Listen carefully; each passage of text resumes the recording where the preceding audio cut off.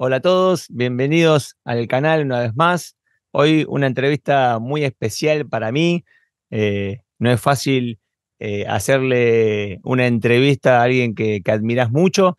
Así que nada, para contarle un poco su historia en números, él es eh, séptimo Dan, cuatro veces campeón nacional, tres veces campeón Copa América, tres veces campeón panamericano, eh, tres veces campeón del mundo, tres veces subcampeón del mundo.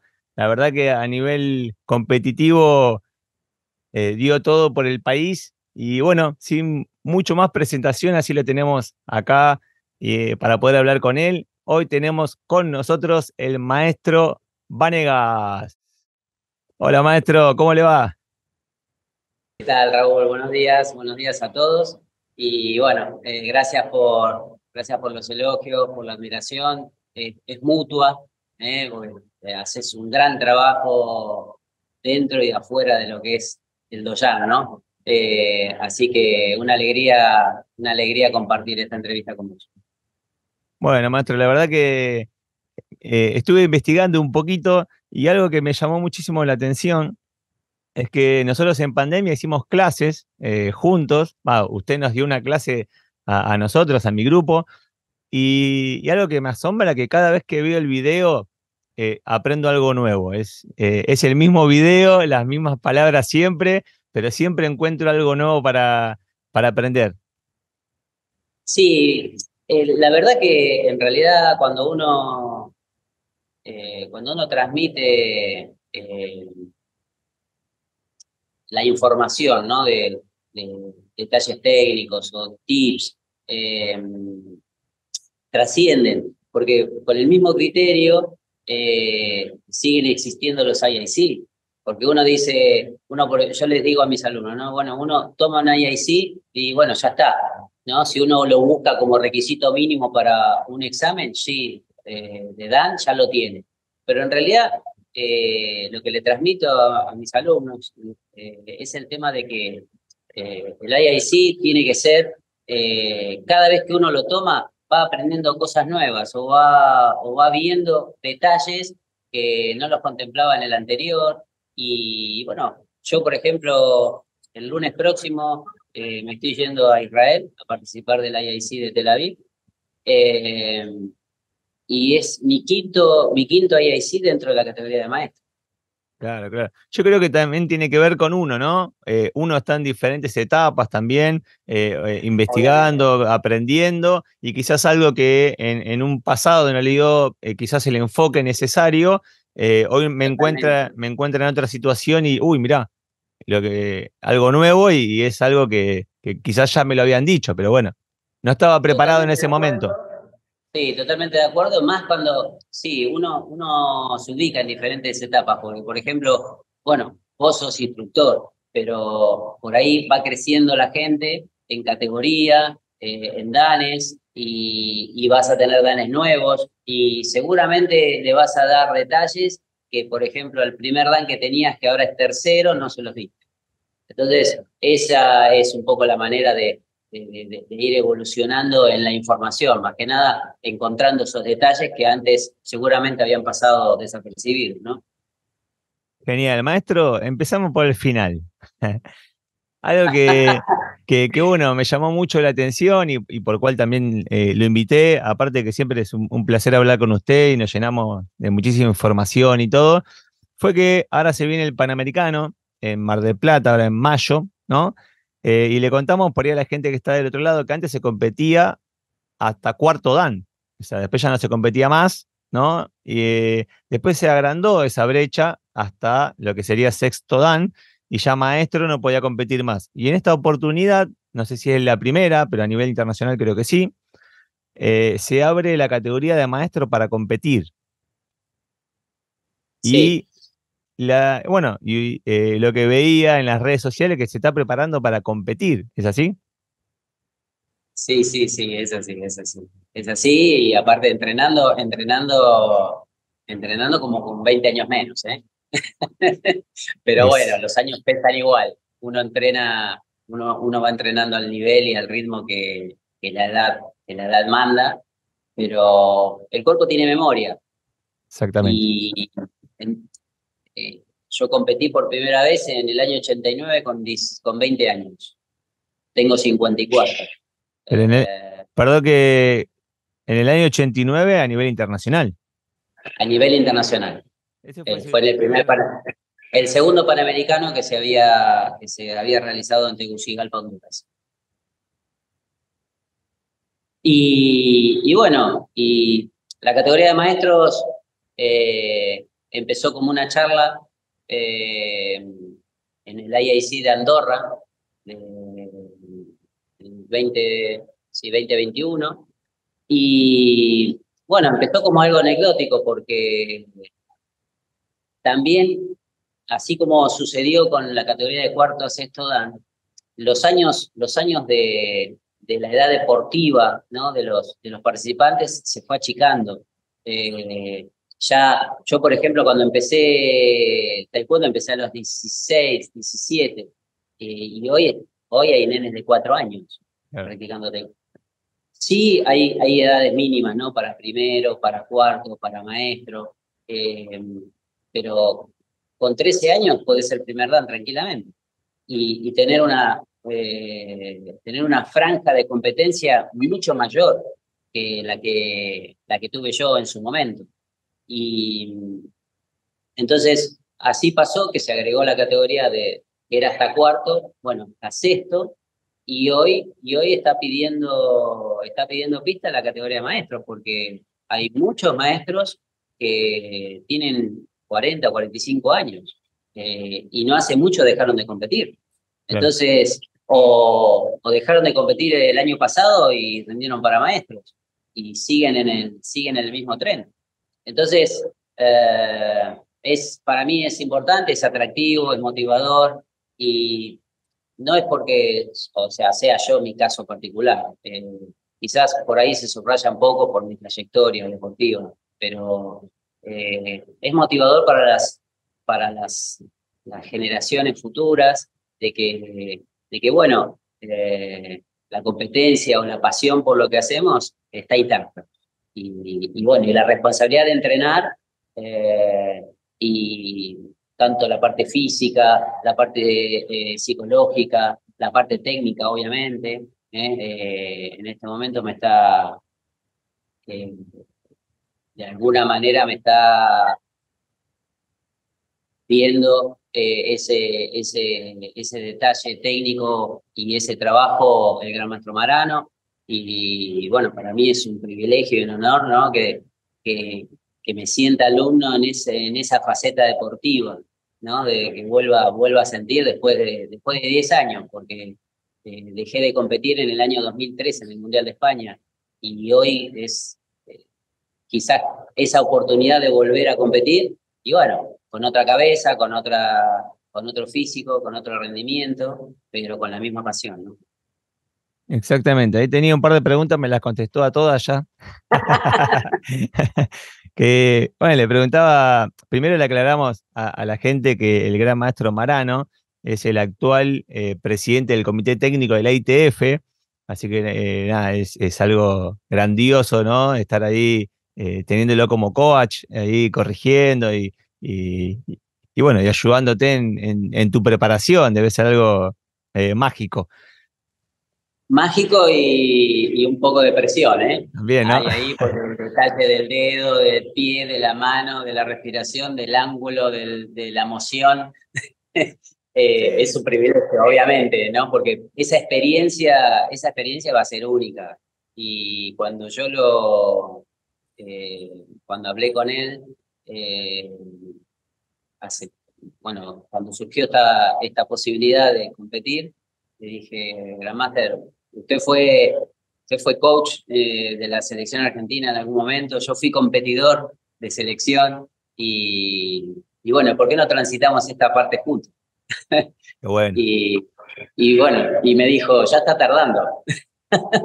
Así que eh, nos encontramos para, para entrenar, el otro día también fue la clase de maestros y ahí en medio también se entrenó. Eh, bueno, la tecnología ha avanzado mucho, ¿no? Entonces, eh, le envío videos y bueno, y el entrenamiento es, es con bastante responsabilidad por, por el nombre, ¿no?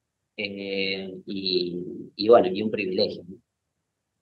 Sí, estaba pensando porque una de las preguntas es eh, qué le dijeron sus alumnos y eso, ¿no? Y, yo me pongo, me pongo en situación y, yo veo eh, a un maestro que no deja de aprender, ¿no? Que, siempre está motivado por, por, aprender y, no que, se sienta ya en la, en la categoría.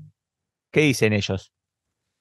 Bueno, lo primero que, me dijeron eh, era, lo voy, a, eh, lo voy a ver competir.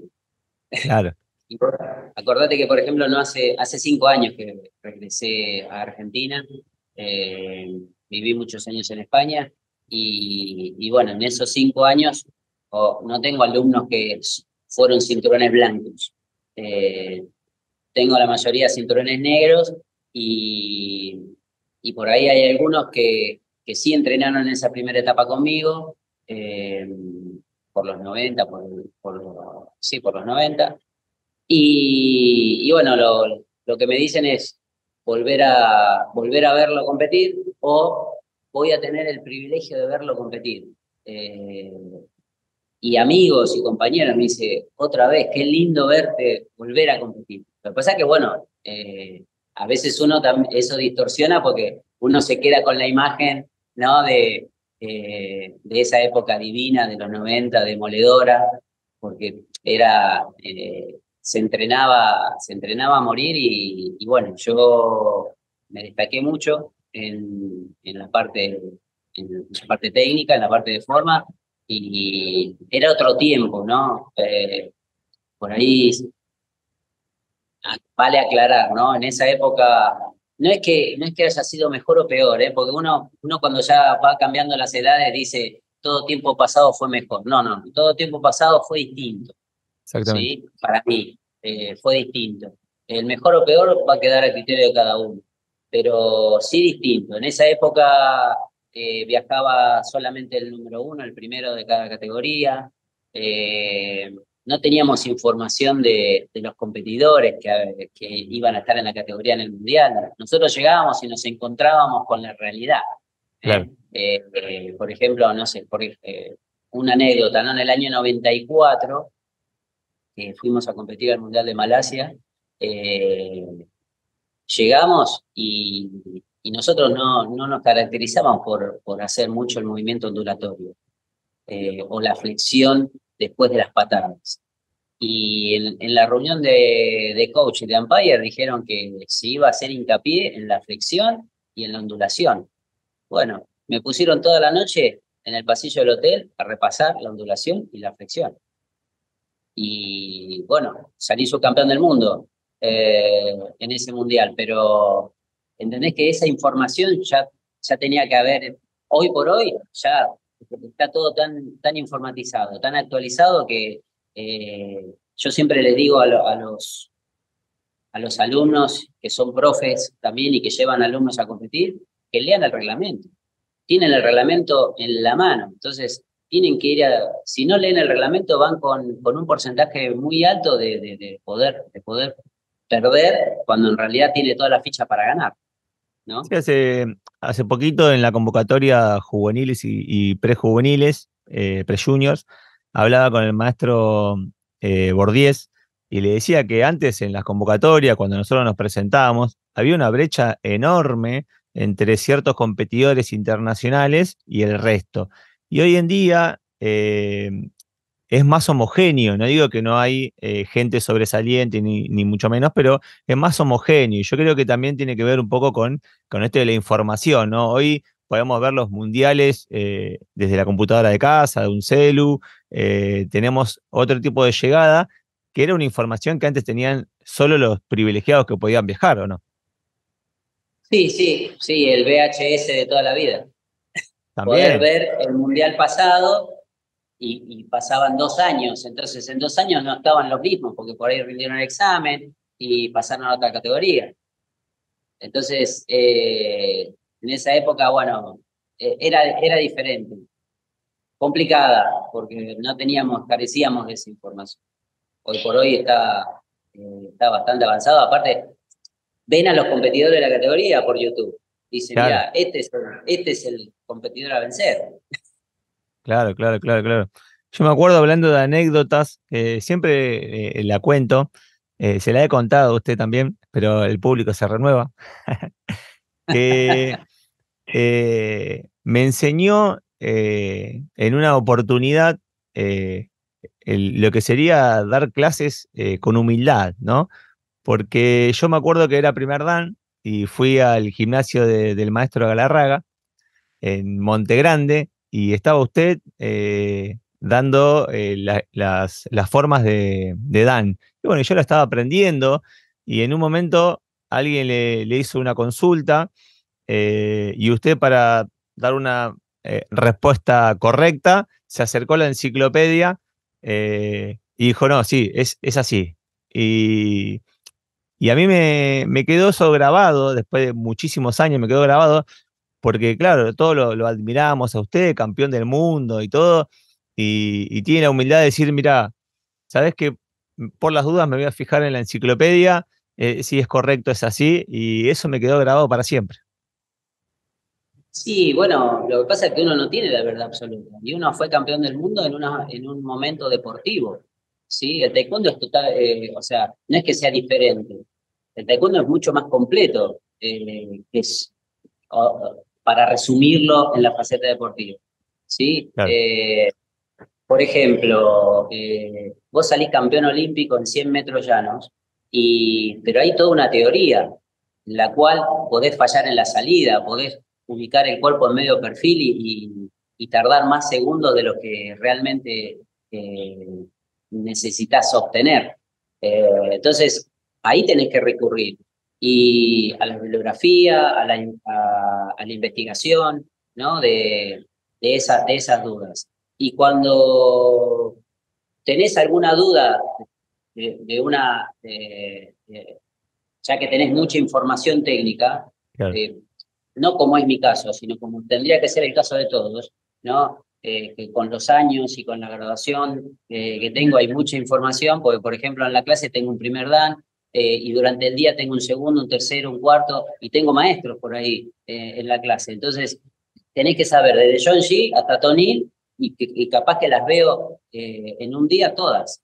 Entonces tengo que estar bastante aceitado. Ahora, eh, donde está la duda, y recorro, eh, recurro al libro, que también lo, viste vos, porque a cada curso, a cada clase, a cada momento que estoy, yo llevo, llevo el libro de los maestros, porque ahí está, no es la verdad absoluta, no, es está la información en la cual vos podés tener alguna duda de algún detalle técnico, de que si el puño va arriba, al medio, o, por ejemplo, ¿no? Un detalle. Eh, en Tonil hay dos eh, Twitchagis. Resulta que uno es alto y el otro es medio.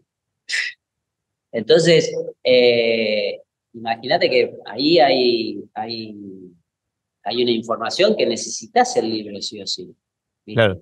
Y no me gusta pecar de, no me gusta pecar de, de, soberbio, en el sentido de que sí, es la verdad absoluta, digo, esto va así, así, y, estoy transmitiendo una información errónea. Exactamente. Sí, sí, algo que, que me quedó grabado de ese entonces. No cómo se hace la forma, pero eso se me quedó grabado. no, no, haces, técnicamente son muy buenos y tenés muchas condiciones y muy buenos alumnos. muchas gracias, muchas gracias. Bueno, volviendo un poquito al, pasado, ¿no? Eh, nos contaba que se fue a España en el 2001, se fue a España. ¿Cuál fue eh, el motivo, digamos, eh, por este, este viaje? y bueno, ¿y cómo fue sucediendo todo allá? Bueno, el motivo del viaje y si te digo que el motivo del viaje fue eh, algo muy parecido al motivo que, tiene, que tienen algunos jóvenes hoy por hoy y pasaron, pasaron 20 años y a veces el, aeropuerto de Ceiza no tiene, eh, tiene una continuidad, ¿no? Que parece que los años no han, no han pasado eh, para mejor. en ese momento el país estaba en una situación muy particular no distinta a la actual.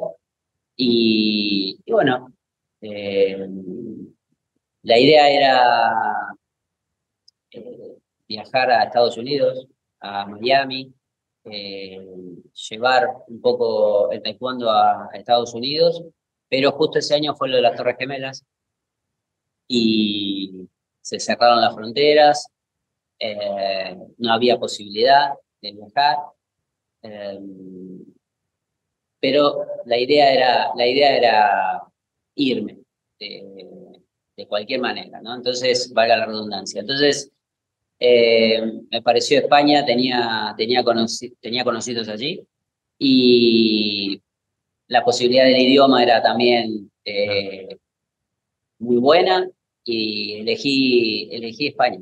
Entonces, eso fue en febrero del 2001, eh, surgió ya la idea de los planes y el, 6, el 5 de diciembre del 2001 me estaba yendo, me estaba yendo a Madrid. Ahí una vez que llegué, bueno, eh, uno, uno no deja de ser extranjero, ¿no? Eh, y ganarse un lugar en un país nuevo, diferente, eh, con, otra, con otra idiosincrasia, con otras costumbres. Bueno, yo traté desde el minuto cero adaptarme a, a la sociedad española, que para mí es fundamental, ¿no? O sea, uno puede tener sus costumbres. Yo, por ejemplo, no dejé de tomar mate, pero o, no dejaba de cada tanto de, de hacer un asado. Pero después, el resto, el día a día, vos tenés que estar adaptándote al medio. Eh, no podés hacer un gueto ¿no? de, tu vida, con las costumbres, con todo lo que, lo que conlleva ser, eh, vivir en un país diferente al que naciste porque hay, hay un montón de cosas, de tradiciones que no, que, son diferentes, ¿no? Eh, me, acuerdo, bueno, me encanta, me encanta la paella, ¿no? Claro. Me acuerdo cuando, cuando regresó a Argentina, que tuvo la oportunidad de charlar un poquito y, me decía eso, ¿no? De, las costumbres. Que hoy acá en, Argentina, eh, digamos, generalmente uno venite a casa, hacemos algo, es reuniones, es, eh, es asado, y allá no, allá era como bastante cada uno muy particular. Y todos, todos lo resolvíamos en el bar. Claro. En un café, eh, en, cualquier, en cualquier lugar fuera de casa. Eh, tengo un amigo de, de toda la vida allá y no, no conocí su casa.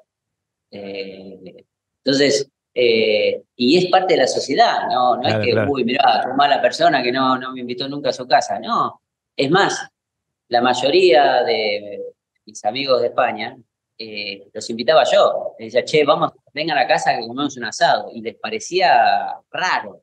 Y se me llenaba la casa de gente. Y para mí era algo normal. Y bueno, y fue bonito transmitirles esa, eh, esa tradición, ¿no? De, juntarnos, de, que no sea, no sea eh, en un bar, en un restaurante a comer o en un café, simplemente brindándole esa, esa intimidad que tiene uno que es, su hogar. Exactamente, exactamente.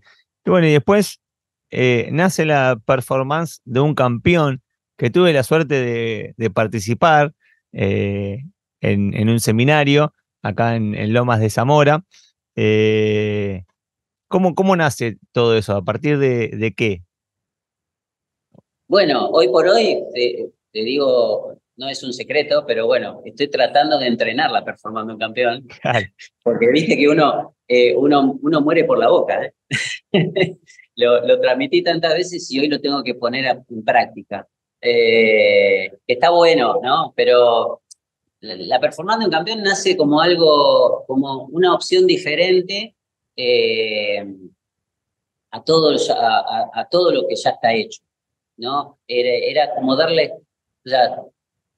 vos como participante del curso, eh, como testigo, ¿no? Como testigo fiel, no me dejarás eh, mentir en el sentido de que, por ejemplo, yo no te fui a enseñar o no te fui a, pasar eh, detalles, detalles técnicos en el sentido de que, uy, la mano va acá, va allá. Sí, si había algún detalle bastante importante, se lo hacía notar, pero no te daba, no te brindaba el secreto, no te decía, no, con mi curso salís campeón del mundo.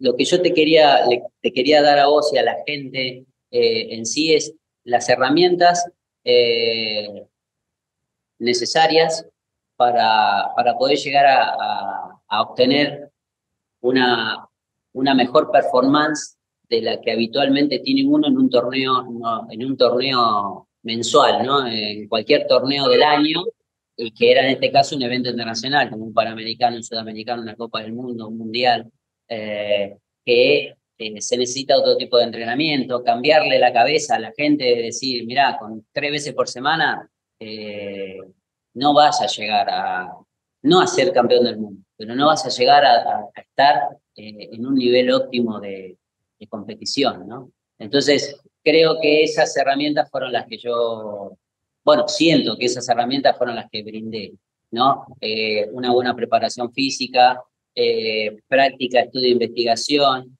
ejercicios de, control mental. Ya en el año 89 eh, nos, experimentaban con, con los ejercicios de control mental. O sea que no es nada nuevo.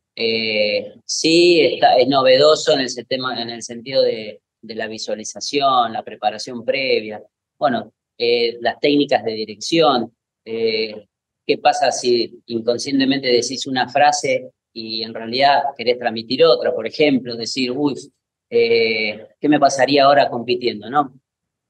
Todavía no me lo dijeron, pero por ahí me lo, por ahí me lo dicen, me dice, Ale, me pueden decir, Ale, ya lograste todo en tu vida, ¿qué más tenés que demostrar? Y yo no quiero demostrar nada. Eh, o sea, quiero, quiero, me, me, gusta la idea, me sedujo la idea de competir porque, porque me encanta la competencia y porque eh, es algo que, wow, una vez más, qué lindo, ¿no? Que tener esa posibilidad de volver a sentir. Pero todos esos, todas esas facetas por las que tiene que, tiene que pasar un, un atleta, eh, bueno, los elementos externos a mi persona, en este caso, ¿no? Eh, eh, mi familia, mi hija, mi madre, mis amigos, que uno también tiene que ir abstrayéndose de todo eso porque está entrenando para un evento. Que necesites, cuando llevas un ritmo tres, con tres meses ya te pones una medio una puesta a punto y bueno, también varía por la edad. Entonces, por eso estoy entrenando bastante con bastante control, ¿no? Dentro de todo, sin, sin pasarme de la línea, porque bueno, uno se puede pasar de rosca, como se dice, y no llegar a su máximo nivel, ¿no? Esa fue la idea de la, en su momento de lo que era transmitir la performance de un campeón, que está ahí, está ahí en suspenso, eh, en cualquier momento vuelve, eh, con alguna versión mejorada. Espectacular, sí, sí, experimentando lo nuevo y bueno, ahí vamos a estar. Sí, yo creo que eh, he hecho muchísimos seminarios, sigo haciendo, sigo aprendiendo.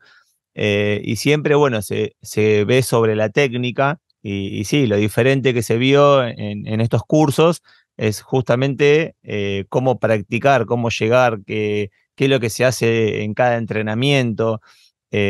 lo hablaba cuando estuvo en pandemia con nosotros de, entrenar cinco veces por semana, dos horas. y, y mucha gente claro, lo vea usted, lo hablamos con, eh, con Lurachi hace unas entrevistas atrás, eh, de lo que entrena, que entrena todos los días, dos veces por día y todo. Claro, uno lo ve a ellos, ¿no? A usted y dice, bueno, usted sí porque es fulano, él sí porque es mengano. Pero en realidad, atrás de todo eso hay muchísimo trabajo, muchísimo sacrificio y hay que estar dispuesto a, a hacer todo eso, ¿no? Porque uno no está acostumbrado o no lo conoce. La mayoría de los alumnos eh, como dice usted, son dos, tres veces por semana, ese es todo su entrenamiento, con eso compite y todo, y, está bien, pero cuando uno quiere llegar a, un nivel eh, elite, ya sea torneos internacionales, mundiales, eh, requiere de más tiempo, requiere de más trabajo, requiere de preparación física, requiere de un montón de cosas que en, el día a día de las clases es imposible verlo. No, no, seguro, seguro. Vos imaginate que era el, cálculo matemático que le decía a los, a los que participaban del curso, ¿no? Por ejemplo, esas dos horas por día, cinco veces por semana, dejando sábados y domingos, ¿eh? O sea, eh, en mi época, eh, no tuve ni sábado ni domingo, entrenaba siete días, los siete días a la semana. Bueno, ya eso es el otro extremo quizás. Eh, o por ahí hoy, por hoy la gente no está preparada para semejante esfuerzo. Pero vos suponete que estás eh, una hora y media, tres veces por semana, son cuatro horas y media por semana, serán 15 horas, 15 eh, horas por mes de taekwondo, porque en realidad no es un entrenamiento, porque es una clase, y en la clase no la podés eh, transformar en un entrenamiento, porque en la clase tenés alumnos con diferentes necesidades, y por ahí tenés uno de elite, o uno que quiere competir, y el resto por ahí quiere hacer taekwondo. Entonces lo tenés que separar también. Bueno, 15 horas semanales, eh, mensuales contra dos, dos horas cinco veces a la semana son 40 horas. 40 horas contra 15. Por tres meses es mucho, son muchas horas de entrenamiento, eh, por la cual después vas vas a establecer esa diferencia. Sí o sí vas a establecer esa diferencia.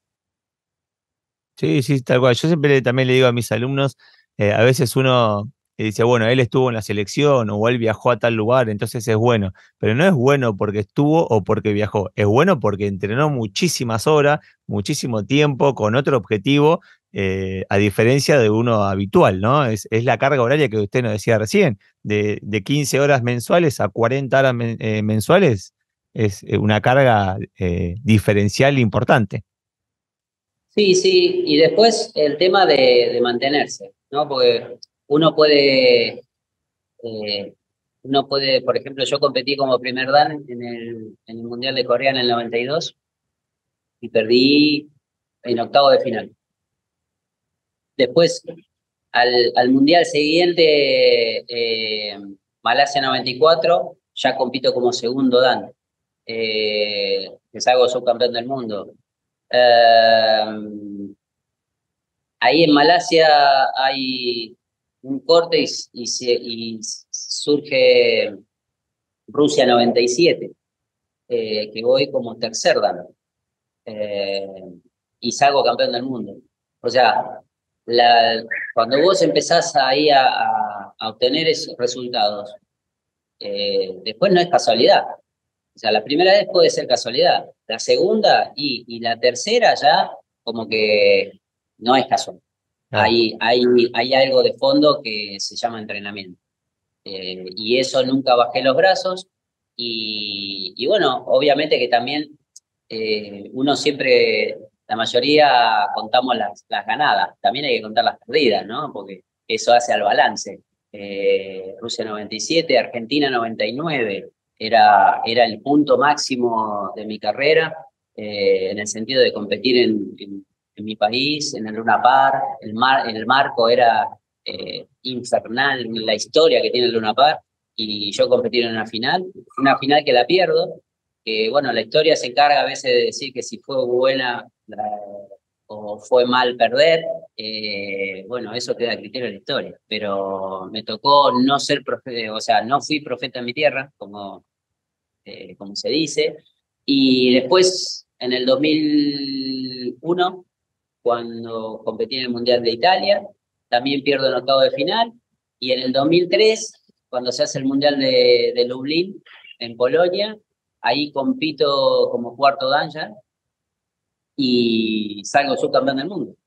Eh, o sea, era una, trayectoria eh, infernal en el sentido de, todo el trabajo y el mantenimiento ¿no? que uno tiene eh, como deportista y que arrancó allá por el año 89 y que marcó un punto, un antes y un después en lo que era el entrenamiento. Excelente, maestro. Le quería pedir permiso para acompañarlo en este, en este proceso, que no sea la, primera vez que nos podamos encontrar y, bueno, y vernos allá en, eh, en Mar del Plata, en esta nueva, nueva etapa competitiva como maestro eh, nada, poder charlar, poder eh, continuar y bueno, y contar este desenlace, ¿qué le parece? Sí, sí, sí, sí, por supuesto, por supuesto, por supuesto. Es un, es un momento lindo que uno por ahí dice, es esta oportunidad, uno no dice, uy, bueno, y el año que viene está la Copa del Mundo y no, no, no, para, para. estamos paso a paso, en el medio también tenemos ya no somos solamente alumnos, eh, somos instructores mayores, tenemos, eh, tenemos, yo por ejemplo, bueno... Muchas responsabilidades, muchos cargos. Muchas responsabilidades con los instructores, el día a día, todo eso te quita, te quita tiempo de trabajo, de trabajo personal, sí, sí, ¿no? Como uno quiera entrenar. Eh, yo por ahí eh, los lunes y los miércoles estoy llegando a las 9 de la mañana a Palermo y vuelvo a las 10 de la noche.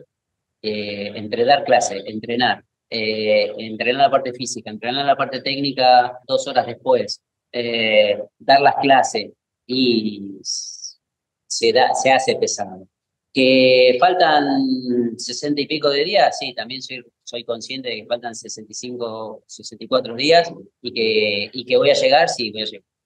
Excelente, excelente. Bueno, maestro, muchísimas gracias por, su tiempo. Siempre es un placer hablar, hablar con usted y estamos en contacto y, bueno, vamos a transmitir todo lo vivido allá de, Mar del Plata y le deseamos lo mejor, el mejor de los éxitos eh, y que siga su carrera a, full como siempre.